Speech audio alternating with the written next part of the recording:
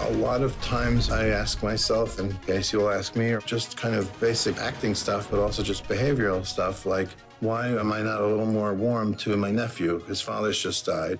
It's one of the first questions he asked me uh, when we were just on the phone discussing it.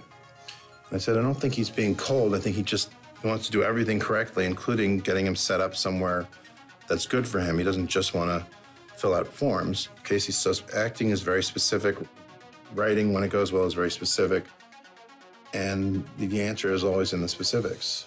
And when you have someone like Casey, it's, great to discuss them and work through them and try different ones.